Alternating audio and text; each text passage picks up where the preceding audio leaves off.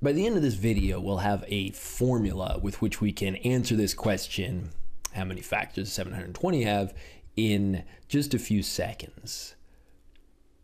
But more useful than the formula, more transferable than the formula is the reasoning behind the formula, the logic behind the formula. So we're going to spend most of our time sort of developing the uh, uh, uh, the reasoning and the thought processes that we can uh, use on a fairly broad range of questions. So to start, let's let's use a let's organize our thinking with a, a definition. If I take a multiple and divide it by one of its factors, what do I have to get? Well, if this bottom number really is a factor of this top number, it needs to, it needs to go in evenly and, and, and cancel out altogether, and we need to be left with an integer.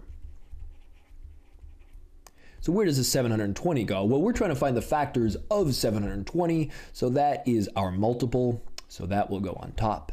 720 divided by one of its factors, by divided by any of its factors, needs to be an integer.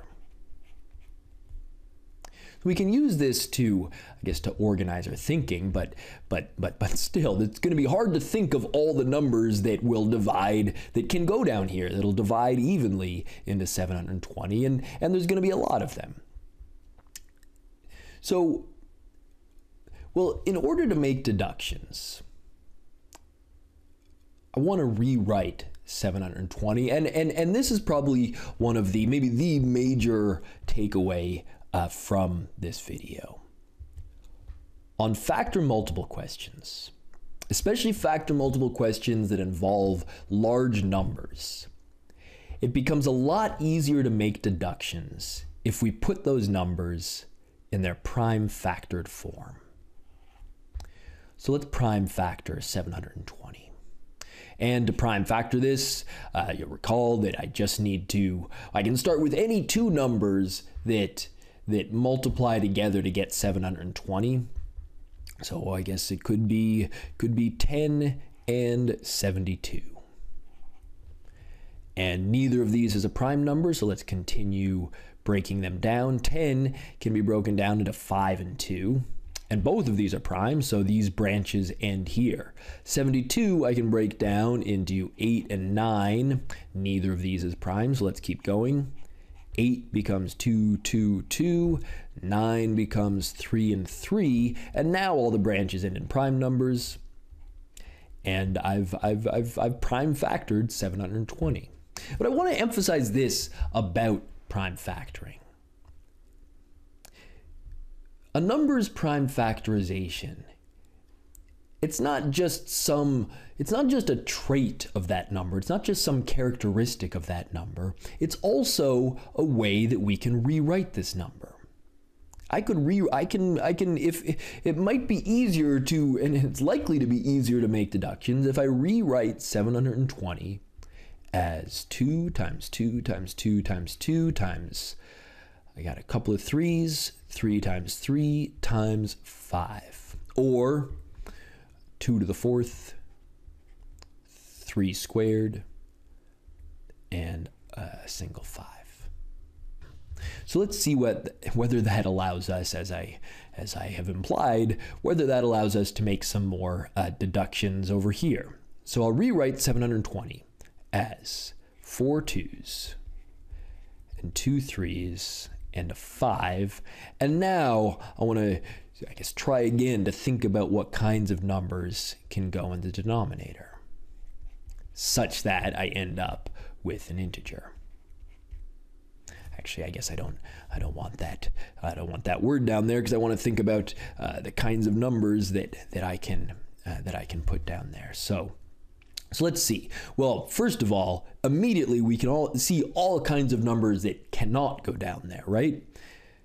Like I can see that it's it's not going to work for me to put a 7 down there because 7 has nothing to cancel with. I'll be stuck with some weird number in my denominator and when I divide I'm going to end up with with uh, uh, some decimal, not an integer.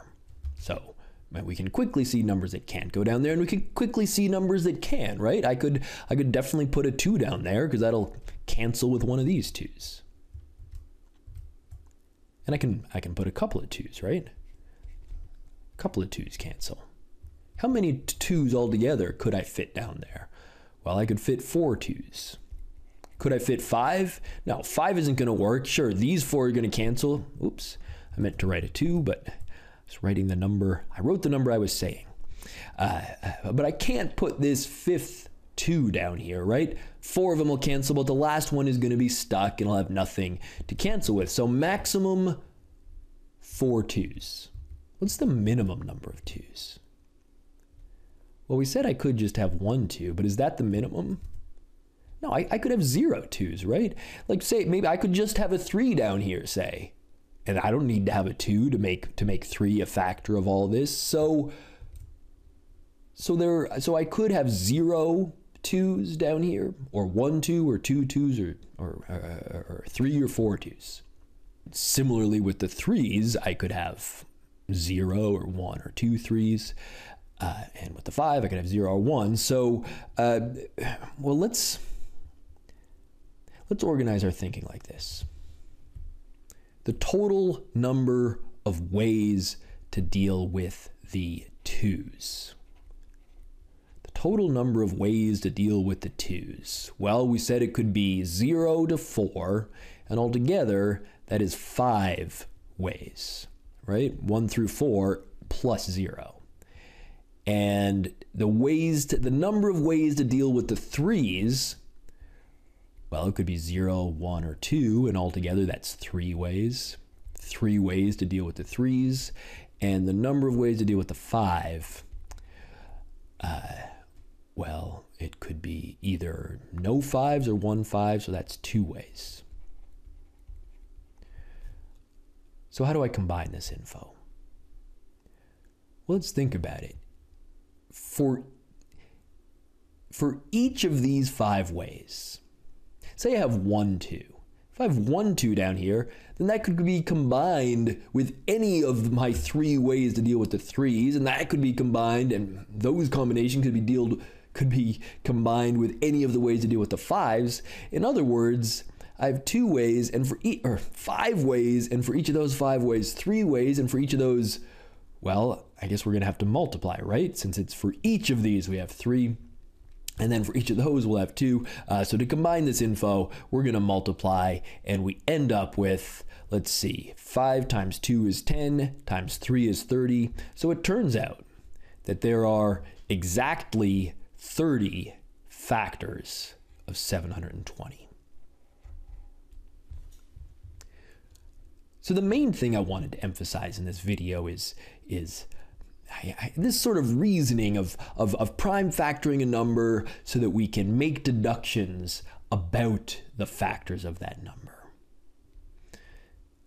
But for for for this exact question or or and, and for questions that uh, that are built on on this concept it can be useful to have this in formula form so let's put let's put everything that we just did uh, uh, into a formula for the number of factors of a number and let's see i guess well i guess let's focus on uh, on this version so this is the prime factored form of 720.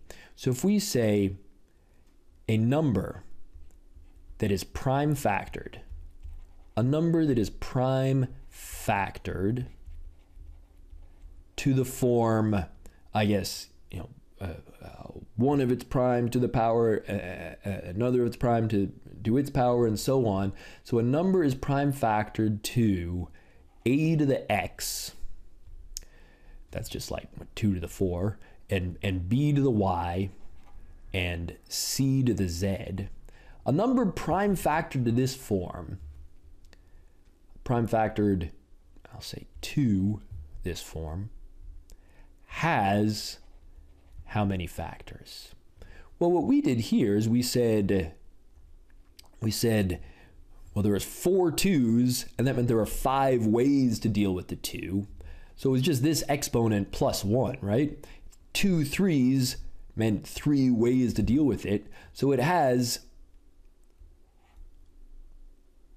so it has in formula form x plus 1 That would be the you know in, in, in generic terms that would be the number of ways to deal with the with the a, and uh, y plus one ways to deal with the b, and c not c z plus one ways to deal with the last one. Uh, and so I, I said we could answer this question in just a few seconds, and really we can. This prime factoring is quick, and we get it in this form, and then right away we just add one to each of the exponents and multiply together, and we're left with the exact number of factors that our original number has.